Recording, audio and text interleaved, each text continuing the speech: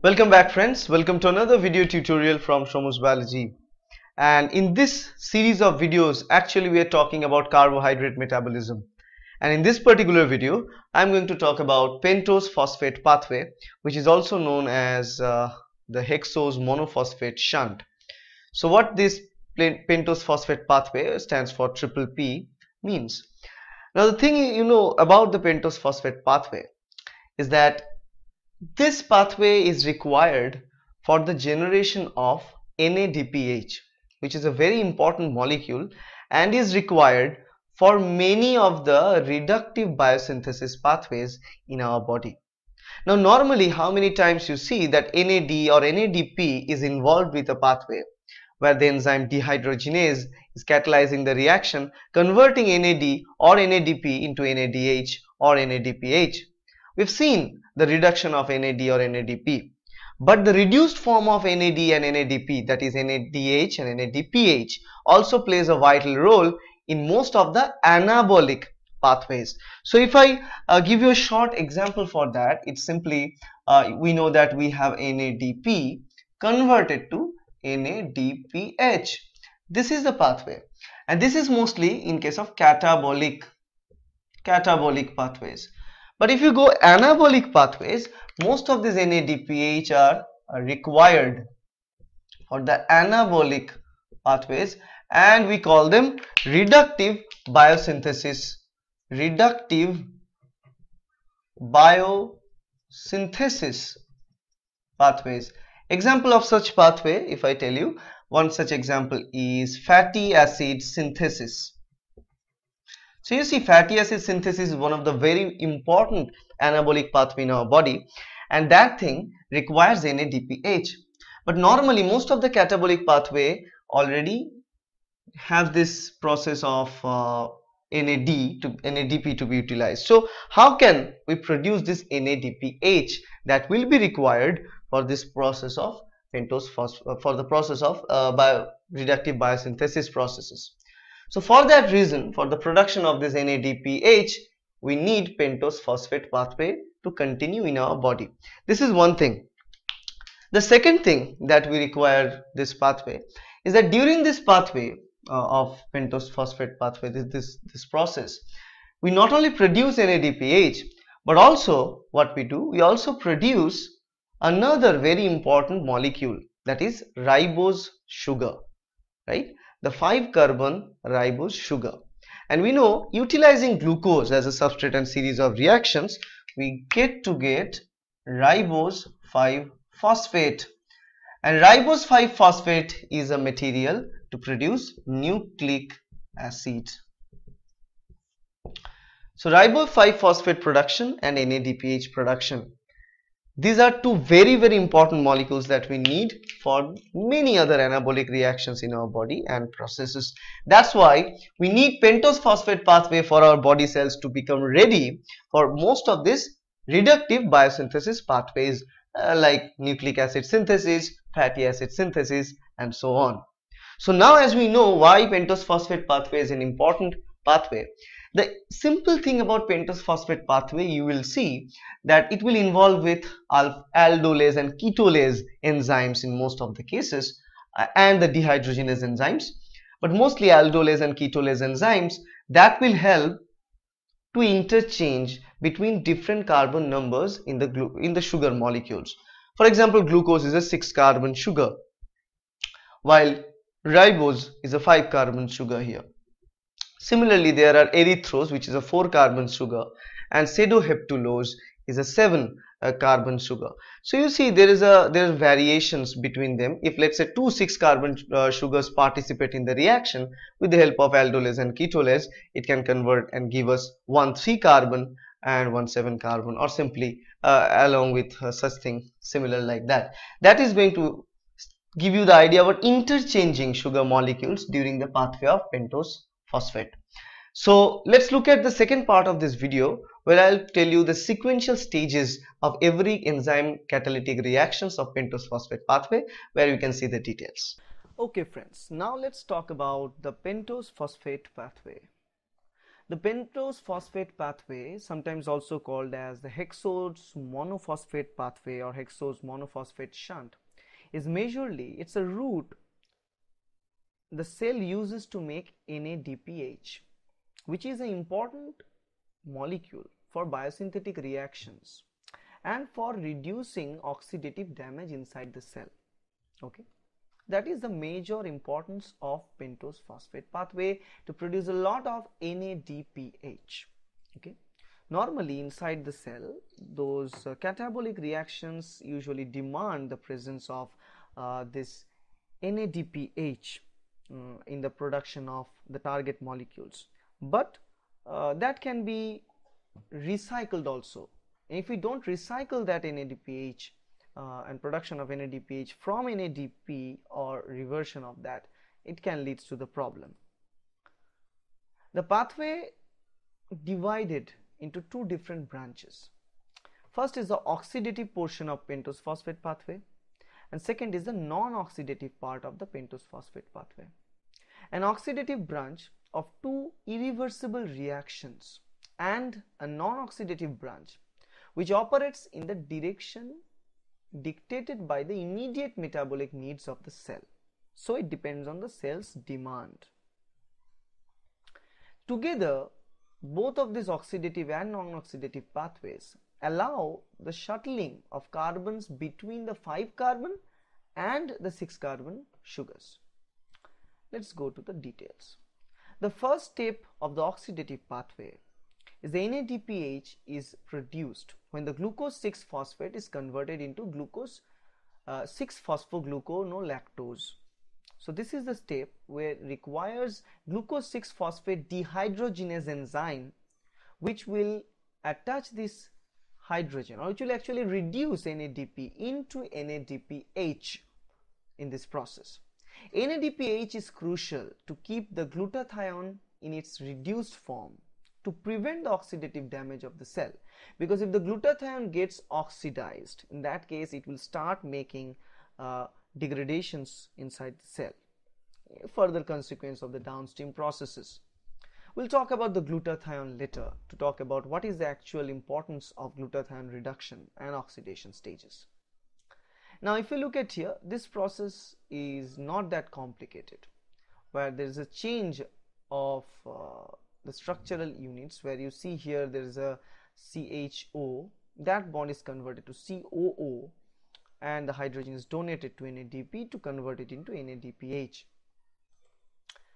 The second step which is also an irreversible step it is further converted that 6 phosphogluconolactone is further converted into 6 phosphogluconate. And 6 phosphogluconate from 6 phosphogluconolactone is mediated by lactonase enzyme. And this process simply provides water molecules. It requires water molecule to convert that gluconolactone into 6 phosphogluconate and then after that that 6 phosphogluconate or 6 phosphogluconic acid you can say is convert into it's converted into ribulose 5 phosphate this, this is the second step where the NADPH will be produced again. The second molecule of NADPH that will be produced again. And this production because when the 6-phosphogluconate is oxidized at the C3, if you look at here, it is oxidized at the C3 and gives the enzyme bound beta keto acid which then readily decarboxylates to yield the ribulose 5 phosphate. Whenever this oxidation is done at C3, NADP is converted to NADPH and the CO that is CO2 released readily because it's not stable here to maintain a structure. So CO2 gets released and it forms ribulose 5 phosphate. So from a 6 carbon molecule it generates 5 carbon molecule here and this is another importance of pentose phosphate pathway. I told you earlier that the major importance of pentose phosphate pathway is to develop NADPH because NADPH will be required in the further process inside the cell as well as it requires to prevent the cell from oxidative damages. But the second importance of pentose phosphate pathway is that this pathway also recirculates between different carbon number containing components of the sugar. It can recirculate and shuffle between 6 carbon, 5 carbon, 7 carbon, 4 carbon, 3 carbon molecules of sugar inside our body. That's a very important thing to observe. This step of conversion of 6-phosphogluconate into ribulose 5-phosphate requires the enzyme 6-phosphogluconate dehydrogenase. You remember always whenever there is a dehydrogenase enzyme, it definitely relates with any process to NAD to NADH conversion or NADP to NADPH conversion. Okay. Now, the key point to remember is that the decarboxylation of the beta keto acid can occur spontaneously that's not a part played by the enzyme. Enzyme only plays the part of rearrangement. Enzyme only plays the part of providing the hydrogen to the NADP. Okay. Now the process can be faster. It can lead faster if they have this enzyme. That is the only advantage for having an enzyme in this step of the reaction. Now once they form this ribulose 5-phosphate, in a now it will start a reversible start of reactions where all the products that we'll see further will be a product of the reversible reactions. And in this case, they use enzymes called epimerase that inverts the configuration between the ribulose 5-phosphate and xylulose 5-phosphate. Uh, okay. So because they are very much similar in structure, little variations, now those things keeps on modifying uh, between themselves because it's simple isomer changes. And the enzyme involved with that in this case is the epimerase enzyme. Now ribulose 5-phosphate also can be converted into ribose 5-phosphate for use in biosynthesis of nucleotide derivatives inside our cell. So that can also be done. Now in this case also they use isomerase. Remember ribulose 5-phosphate is an isomer of the ribose 5-phosphate but xylulose is an epimer of ribulose 5-phosphate. Now, if you want to know what is epimer, what is isomer, I'll I'll tell you to watch uh, my videos regarding that. As other video in my channel regarding isomer epimer so you can watch that video to get the idea about it.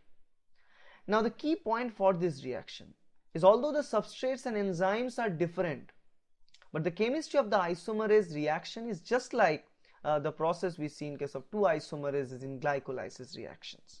Okay? But though the situation is a lot different here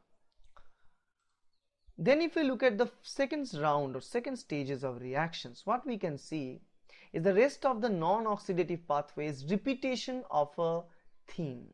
That is an aldolase and ketolase are used as substrates in a reversible reaction produced another aldolase and ketolase. So in every situation, in every set, you'll find one aldolase and one ketolase and they will produce another aldolase and ketolase and these reactions are always reversible.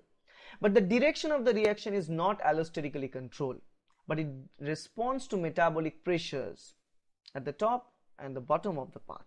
And depending upon the pressure and requirement, it modifies uh, the idea. It modifies which one is going to be produced, which aldolase and ketolase is going to be produced. Now the enzymes involved in all these processes are known as transketolase enzymes. For example, it can start using xylulose 5-phosphate and it can uh, also use that uh, ribose 5-phosphate.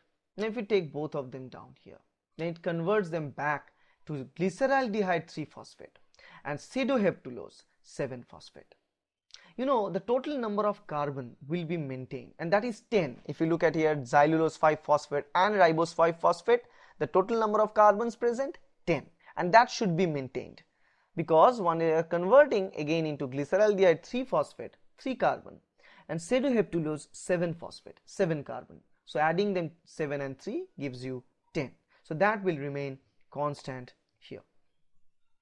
And similarly this process will continue on and on by the several rounds. For example, this glyceraldehyde 3 phosphate can also take sedoheptulose 7 phosphate and again with another type of transaldolase uh, enzyme reactions, it will produce fructose 6 phosphate and erythrose 4 phosphate. Now adding fructose 6 phosphate that is 4 and erythrose 4 phosphate contains uh, fructose 6 phosphate contains 6 carbon, erythrose 4 phosphate contains 4 carbon, ultimately gives you the 10 carbon. So in all these stages either be catalyzed by transaldolase or can be catalyzed by transketolase but ultimately they will be shuffling the aldose and ketose. Uh, that is the structures repetition that will keep on occurring between them. Okay?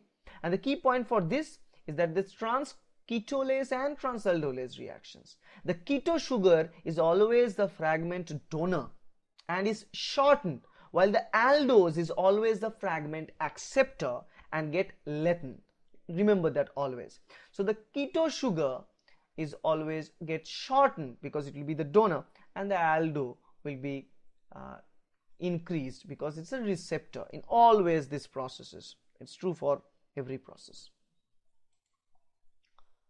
And if we look at ultimately at the end again uh, the same type of situation if you take this one like xylose uh, xylulose 5 phosphate and glyceraldehyde uh, 3 phosphate. Here here the conversion of all these three. That will also be the same type of process either being catalyzed by transketolase or uh, transaldolase.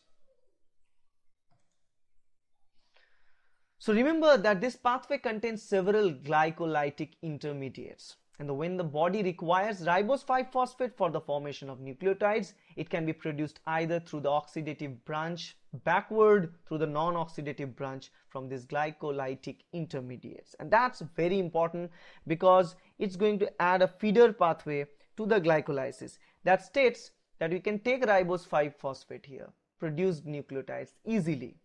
And it, it can also be related with the glycolysis as well as in multiple regions wherein glucose 6 phosphate, wherein glyceraldehyde 3 phosphate, fructose 6 phosphate intermediate regions. So this is a very intelligent and clever process inside the cell uh, to not only balance and produce NADPH but also uh, to utilize them and also to to utilize interchangeable format of uh, the different sugar compounds. So that in a sense is a very very important step.